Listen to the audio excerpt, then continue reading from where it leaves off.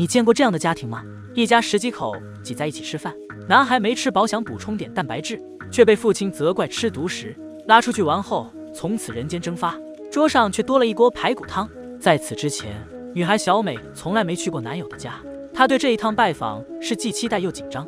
男友大壮一直体贴地安慰她，表示自己家人都很随和。小美听着他的描述，陷入了一阵甜蜜中。很快，两人就走到了。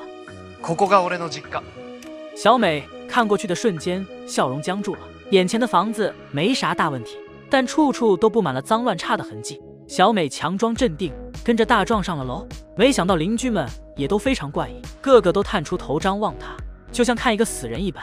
小美礼貌性的点头打招呼，心里已经非常不适了。越靠近大壮的家，环境就越差的离谱。大壮却已经是司空见惯，只是催促着小美进家门。小美挤出笑容，跟着走进他家。迎面来的是一大堆孩子和大壮怀孕的妈妈。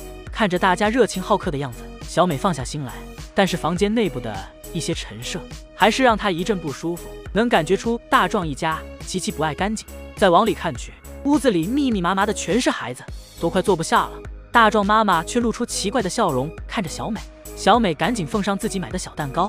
没想到大壮妈才刚接过，就被一只手迅速夺去。一群孩子蜂拥而上，简直就像饿狼扑食一般。小美不禁怀疑他们是几天没吃过饭了。